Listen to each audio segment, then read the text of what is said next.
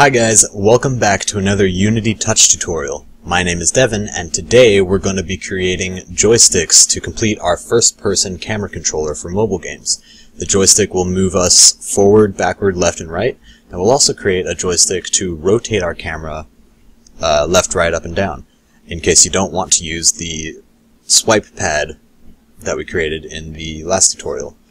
So right now, a quick overview of the scene. It's uh, exactly the same as we had it in the last tutorial. We just have this uh, swipe pad that will rotate our camera and that cube right there. Um, yeah, so now we're going to create a joystick that will move our player, and then after that we'll make the joystick that will rotate our player. Um, yeah, so right now I'm just going to create a GUI texture real quick. This will be our joystick. Let's move it over there. And I'll call it a joy move. Right. Now, let's also create a C-sharp script. We'll call this joystick. And we'll open that up.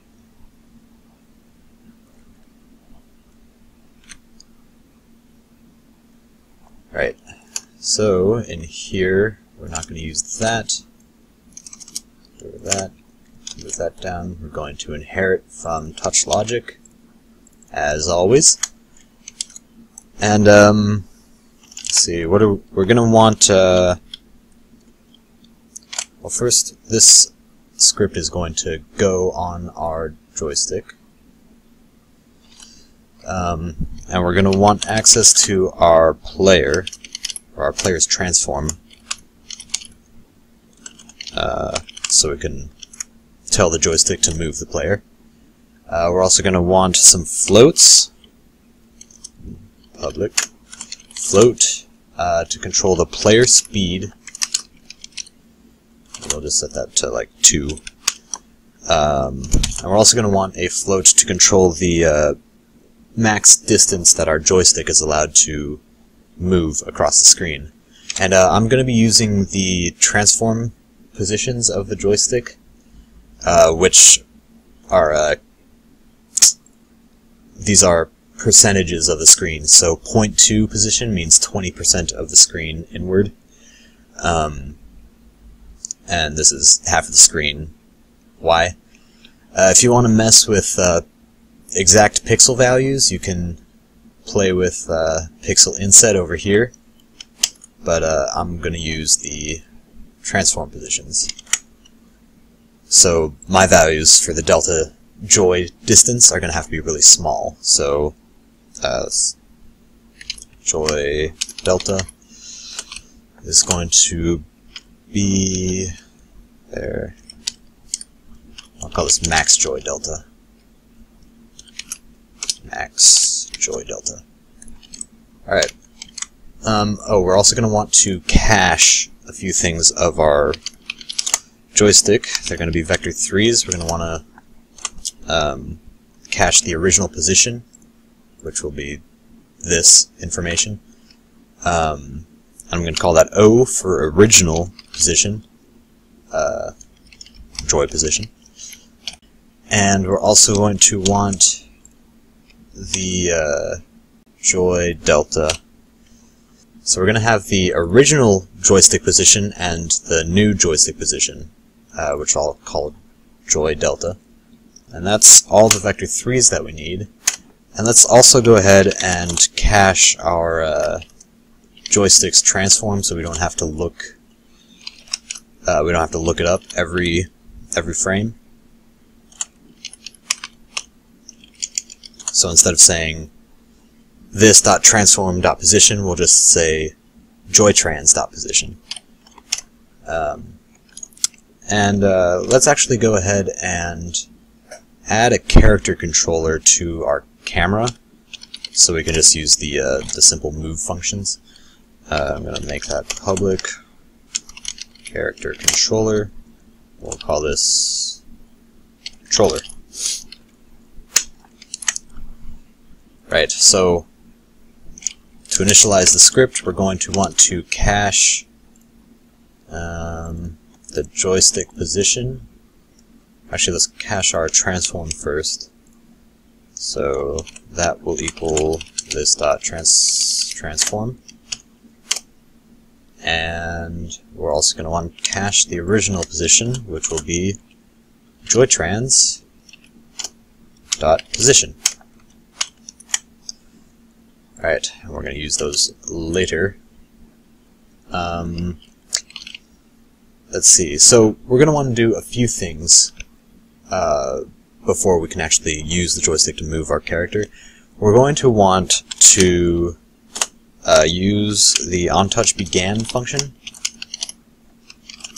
that we defined in our TouchLogic script to uh, say, alright, when a touch starts on our joystick, we're going to want to remember this touch index.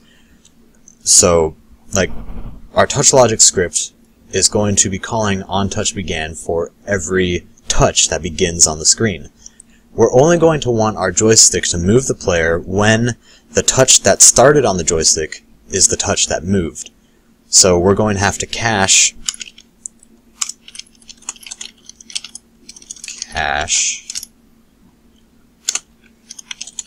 the touch index that started on the joystick. Um, and I'm actually going to modify our touch logic script so this will be available to all uh, scripts that inherit from it. And it will be a public uh, integer. And we'll call it touch to watch. This will be the touch that we need to watch. And we're going to make it, uh, just make it anything implausible it's like a, a touch index, a touch index that will probably never happen. Like 64, it'll be hard for people to put 64 fingers on the screen. Um, and we're not going to modify this at all in this script. Actually, let's uh, let's go ahead and hide this in the inspector because we don't need to modify it there. Uh, right, so that's all we got to do in here. Um, but in here, this script in our joystick is where we're to actually modify that. So onTouchBegan will be called when a touch, when a finger touches our joystick. Um, so we're to want to cache that touch. So we're to say touch to watch, and we have access to that because we are inheriting from TouchLogic. Touch to watch equals TouchLogic current touch, and touchlogic.current touch is the uh, public static variable that never changes. Well, it always changes. It's changing based on this loop for all the touches that are on the screen, but it can never be different across any uh, any instances of the script. Right, so now that we have that cached, we're going to want to um, see when it's moved. So on touch, you know, I'm just going to copy paste this. On touch moved anywhere. On touch moved anywhere. We're going to want to check if the touch that moved is the touch that we're watching. So we're going to say if touch touchLogic.currentTouch, if the touch that moved is the touch that we are watching, or it's equal to the touch that we're watching, the touch index, then we're, then we're going to want to move the joystick. Alright. So to move the joystick, we're just going to modify the joystick position, and we're going to set it equal to well, we're going to have to do some calculations uh, for that. And I'm actually going to separate that out into its own function because that's going to be uh, kind of lengthy. So I'm going to call this move joystick. Um, yeah.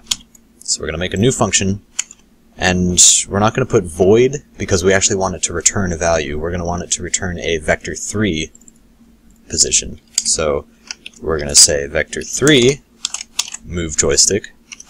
And then in here, uh, we're going to we're going to calculate the new position of that joystick. So in here, we're going to define a new vector 3, and I'm going to call it position. And we're going to do all the logic in there to calculate what the new position is, and at the end of this function, we're going to want to return that value.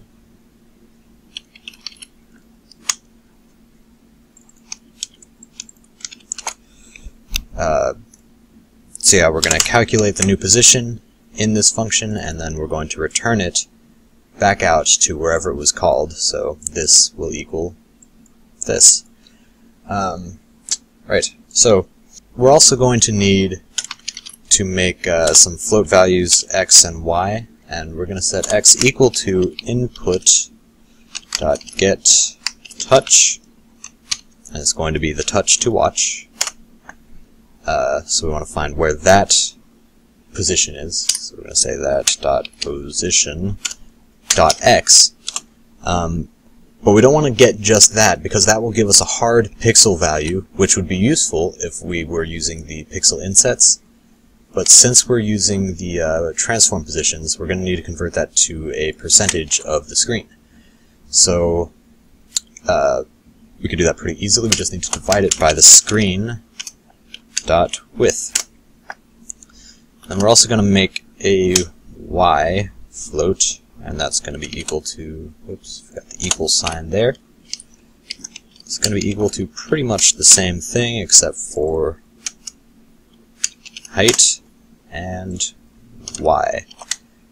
Alright, so I, I separated those out into their own uh, things, so we can just uh, plug them in here without having to make that one line so long that it goes off the screen. Uh, so yeah, we could just plug those in. Um, x, oops, vector 3, x, y, and 0, because we're not changing z at all. So, this joystick should be able to move around now when we touch it. So let me touch that, and there we go. We can move our joystick across the screen, but you can see that it is not limited at all right now. Um, and when I just let go right there, it didn't snap back into place. So first we're going to limit it, um, and to do that we're going to need to clamp that value, so we're going to say math f dot clamp, and we're going to clamp the x value and the we're going to clamp it between two values, uh, the min and the max. The min is going to be where is it? Joy original joy position. Um, minus max joy delta That's X.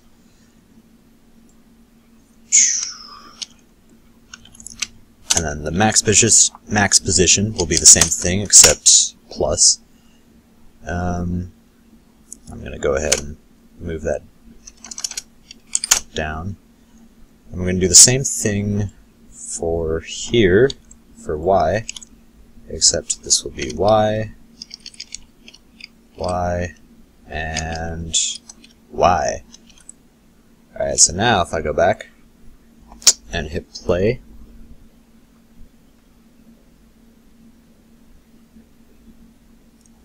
yeah, so the uh, joystick is now limited in the X and the Y. No matter how far I drag my finger across the screen, the joystick will limit itself. But it still does not snap back into place. So we're going to fix that right now, and we're going to say, oh, I don't need to do that. Void on touch ended anywhere. Um, yeah, yeah, might as well have just copied the whole thing, but Yeah, so on touch ended anywhere. If the touch that ended is the touch that we are watching, then we're going to move the joystick back to its uh, position. Um, and I could just copy this, paste it there, get rid of those. Oh, and also I'm uh, I'm also going to change touch to watch back to 64, so uh, our joystick doesn't watch some other index, whatever's next in line, when we lift our finger. So now, if I touch the joystick right there and move it around, max it out somewhere, let go, it'll snap back to its original position. Awesome! So now we have a joystick that moves, but we need to take those uh, joystick deltas and convert that into a player movement. So one more thing that we're going to have to do inside of here before we can apply this uh, movement to a player, we're going to have to stick it into our joy delta so we can keep track of the delta distance that our joystick has traveled. Uh, so joy delta is going to be equal to a new vector 3. It's going to be equal to the, the position dot x minus the original position dot x. Um, and we're not going to want to put y in here because uh, when we move our player around, if we move y, he's going to go up and down.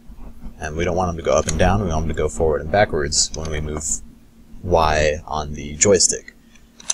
So we're going to set y to 0, and z is going to be calculated with the y values. Um, and we're going to normalize that so it's a value between 0 and 1 uh, and then we're going to multiply that normalized value by the player speed to control how fast the player goes. If we don't add normalized, he's going to go insanely fast, and we don't want that to happen. Alright, so now that we have the joy delta calculated out, um, we're going to make a new function called uh, apply joy values. Or apply delta joy, let's call it that. And we're going to call this function on touch moved anywhere. We're also going to want to call that on um, on touch stayed anywhere. So if we're holding the joystick down forward, uh, he should still be moving. He shouldn't only be moving when the joystick is moved, and we don't need to move the joystick if the touch stayed. So now we're going to need to grab the player's character controller, which we've called troller, and we're going to move it in a vector 3 direction. The vector 3 direction that we're going to move him in is forward in uh, Z and left and right on X. We don't want to move him in Y at all. Uh, so we're going to take the player's forward vector, multiply that by the joy the joystick's delta dot z, which we've calculated down here. Um, so that'll control the forward and backward movement of our joystick, or of our player with our joystick. And we're also going to want to go player dot right vector and multiply that by the joy delta dot x. Yeah. And then we're going to want to multiply all of that by the player speed, play, play, yeah, oops, player speed multiply all of that by the player speed and time dot delta time, so it stays consistent across all devices. Um, yeah, so let's go into our joystick and move our player into there and there. And then let's test him out. Alright, so if I tap on the joystick, yep, there he goes, he's moving.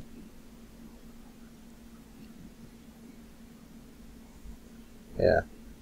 So I can move forward, backwards, to the right, and to the left.